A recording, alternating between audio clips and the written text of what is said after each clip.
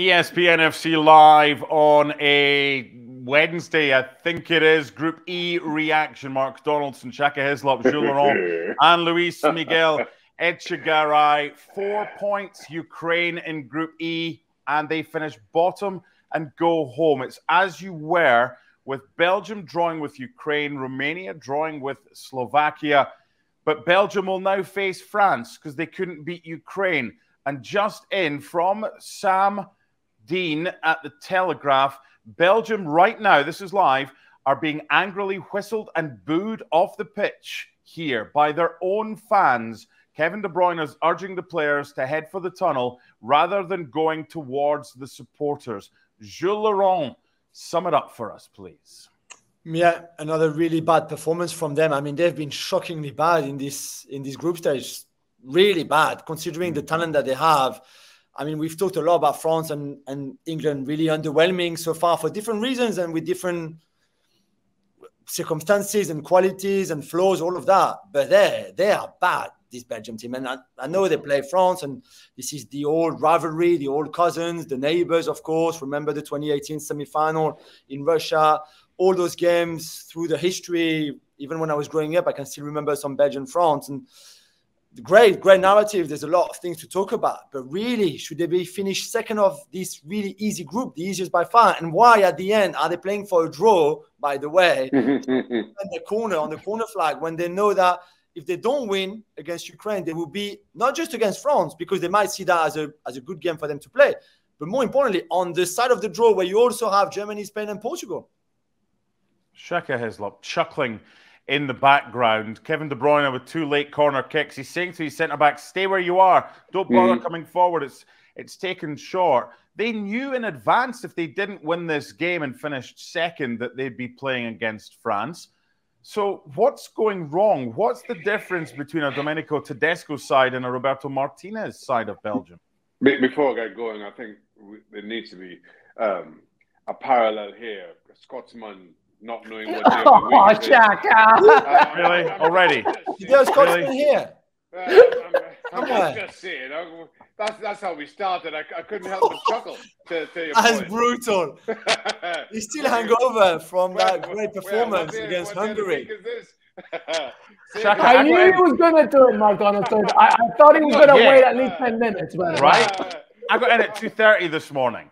And you, you've, you you've not even asked Sorry, Mark. Sorry, Mark. I just couldn't resist. Uh, but but but but to your point, um, I, I I don't think I've, I've seen a worse a worse Belgium team. I don't think I've seen a, a worse Belgium performance. In, in all honesty, and and, and Jules summed it up.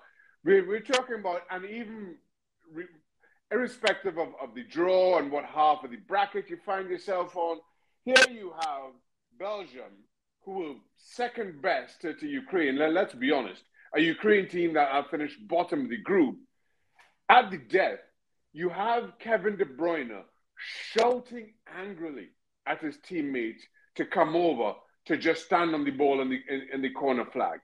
That just kind of that that summed up Belgium's Belgium's game, Belgium's uh, Belgium's tournament. In, in all honesty, because well, we could we could point to that as, as something being flawed about about this version of Belgium, I they were not going to score. I, I cannot think of one save that the Ukrainian goalkeeper had to make in earnest mm. uh, before before Carrasco's effort late on, and yeah. and that was about as good as it got, and and that speaks volumes to to uh, I guess how far how far this team this, this team has has continued to fall.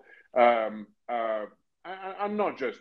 I mean, we I, I certainly was critical of Roberto Martinez and what was um, deemed the golden generation and, and, Belgium topping world rankings, yet not being able to to, to get to, to a final. Um, but but this is is even beyond those criticisms. I'm not sure where to start or how we end with this version of Belgium. Oh, LME, Jules summed it up perfectly by saying this is one of the weakest groups that Belgium found themselves in. Now, if they produce a, a, somehow find a performance or a result to knock out France, then then great. But you've got the opportunity to avoid France by going out to win the game. He brought Trossard back in, dropped him for the second game, had Doku. Doku's in danger of, of being um, all pace and, and no end product um, so far. And, and Lukaku, I mean, three goals, none of them have counted, didn't look like scoring. And in the end, there was a chance for Ukraine near the end, which was straight at Casteels. They nearly scored from a corner. And one goal for Ukraine, LME, would have knocked Belgium out. Mm. Yeah, and I I feel sorry for Ukraine because they're actually the first side in European Championship history to win four points and fail to progress from the group stages. And, and to your point and everybody's point, this was uh, a game where there were moments where Ukraine could have taken advantage. Let's go back to that point you just said, Andy, about Lukaku and Doku. Why does Tedesco wait until the 77th minute to realize what every Belgian fan and analyst was thinking, which is Doku's not giving you anything anymore. You could have taken him off way earlier. Why does Tedesco wait until the 90th minute to take off Romelu Lukaku and bring off Openda? Why? You have to think about not just what's happening pre this game, but also in game management. And Ukraine, there were very, very big moments where they could have taken the lead, as everybody has said. So I question A, the identity of Belgium throughout the tournament, and B, the in-game tactics of what Tedesco does and does not do with Belgium. And now you face a French side who, okay, they haven't yet shown me exactly why they deserve to win it, but they're a much better team and they've already proven that they're champions and they're going to destroy you if you don't want to wake up. And Kevin De Bruyne coming off the team and, and, and not acknowledging the fan base, he knows it. He knows that this side of his is not good enough and they need to wake up. They are very lucky to go through to the round of 16 in this group, by the way, that just like Jules said, they should have really just won and gotten away with it.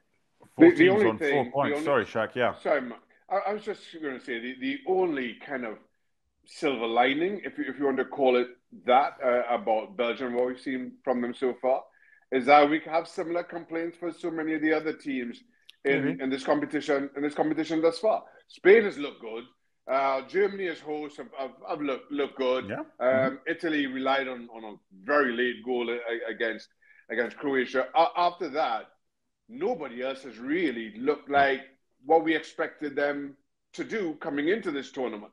So, from a Belgian perspective, as I say, and this is really looking for a silver lining uh, uh about anything that we've seen from them so far, is that they're not alone in, in their disappointment. Jules, would you see similarities between England and Belgium in that defensively, I'm not sure they can be trusted, but going forward, Kevin De Bruyne, Jude Bellingham, Romelu Lukaku, Harry Kane, they've got goals in the team, but neither so far have been able to, to find a way to the back of the net as often as they would like. Yeah, you're right. It's a really good point it's a really good comparison, I think, and you can look at it. And I think again, it's a lack of structure. Structurally, those two teams are nowhere near where they should be with the talent that they have. So we we blame the manager for that, and that's normal. The head coach, Southgate on one side, who has and Tedesco on the other side. I don't know which one is worse. To be fair, they're probably similar level of of badness. I mean, you know, I didn't even mention Steve Clarke in there, but just Tedesco and? I'm kidding. I'm kidding. I'm kidding you. No, Moses, That's two I'm now. Sorry. That's I, two. I, am sorry. He came off my mouth like, on his own. Um, because uh, it a good point you were making. No, no, seriously, the lack of structure is baffling eh, defensively, offensively, with the ball, especially. It seems for both of those teams, it's like, okay, I've got the ball. What should I do? Let's go wide. And then not much happened. Let's go back centrally. Let's go wide again. Let's see if Doku can do something. Let's see if KDB can find a pass out of nothing. Lukaku up front. I mean, there's that one chance early on, right? He manages to just not even make contact with the ball. He, he brushes it on his favorite left foot. It's a great ball exactly. He's in the six-yard box. I know he's a bit the angle is a bit tight, but still, he just has to make good contact and could be in. And instead, it's like a he just like caresses the ball. I mean, I, I don't I don't know what's going on with Lukaku. But yeah, you're right. It's very similar to England. They're just underfiring completely in every department of their game. Am I right in saying, Jules, that the meeting of France and Belgium is the meeting of the only two squads with 25 players instead of 26? Yeah, you're right. I mean, I've tried to explain to Gab Marcotti, who is not having it, why 25, which is, I think, a, a, a good reason. And the, the reason behind Deschamps only picking 25 three goalkeepers. So that goes down to 22, which is a much easier number for drills or training because it's obviously an even number and not an odd mm-hmm. number. Whereas if you have 26, you take away three goalkeepers, you have 23, it's an odd number. And then you can still make it work. But, for, but if you want like 10 v 10 and each team will have a serve, it's better than team with two, team with one, things like that. And that's the only reason behind that for Deschamps. As simple as that. So others might see it differently. I'm not sure if he's got any impact, uh, to be fair, if you have 25 or 26. When you're not playing well like France and Belgium right now uh, and others, whether you have 25 or 26, I'm not sure it's a, it's a big hmm. difference. Before we uh, before we discuss Slovakia against Romania, and Slovakia has been one of my favorite teams to watch. I was lucky enough to be in Frankfurt last Monday to watch them beat Belgium, and they are more than the sum of their parts. But Shaka, Belgium are nowhere near the sum of their parts. Has the golden generation said farewell to Belgian football, and this is what we're left with on the other side? They're now the golden girl generation. Boom, boom, boom. That, I've, been, I've, been, waiting a long time for that. Um, listen, I, I, as, I, as I said before, um, I, I, think when this Belgian team and, and, and the talent pool was was at its best, and, and those players were, were, were at their peaks. Um, uh, the, the best I can remember is is is a, a semi-final place and, and, and, a third and fourth place finish um, at one of the World Cups. I'm trying to, was it 2018 World Cup? Um, but that was as good as they got. And, and this is a team that sat top of the FIFA rankings for, for what, mm-hmm. what felt like eons, given the fact that, uh, again, they, they hadn't lifted major silverware. Now, now that golden generation is aging and, and, and making, making way for, for new, younger, more prodigious, prodigious talent, um, such as the likes of Doku, but still, um, Doku, uh, which we've seen with Manchester City, comes on um, very pacey, very direct, engages defenders, but still a little bit raw in, in terms of in terms of his, his own decision making. And that's in club football. At international football, where things are a little bit slower, things are a little bit more purposeful. Um, it, it, it shows up, or, or that um, that rawness, shall we call it, shows up even more, and, and you saw it. So I, I think there is good talent on the way in the making but still a long way from what it once was, um, and a long way from even the the realizing their own potential. So it's a, a, bit of a holding pattern, disappointingly for for many Belgian fans. Can I just say very quickly before you yes. do the ad, just very quickly? I think we're letting Tedesco go off uh, a little too easily here because I don't think it's an excuse to to come like this in this group when they really should have won. Yes, they're aging, but they're still playing. There's still Kevin De Bruyne there. There's still Lukaku, who is a. They're force. still better than everybody else in the group. Exactly. So, like to me, it's like yes, it's an aging golden generation, blah blah blah. But this is still a very good team, and this is. is still a very good squad. And it's not good enough if you're a Belgian fan and you're watching this team. You should completely ignore about this thing that okay, they're aging. Okay, they're aging, but they're still there. Kevin De Bruyne and all the like the, the, Youri Tielemans who had a very good season with Villa. Like this is a very good squad still. And it, regardless of who you face, France or the top giants, like you should have won this group easily. And that falls down to Tedesco a lot. Yes, the players share the responsibility, of course, but just like I said at the beginning, the in-game tactics, the analysis, yes, and it's correct. It's very England-ish. Like the, the, in-game management of this Belgian team is close to pathetic, and Tedesco should hold the responsibility for that.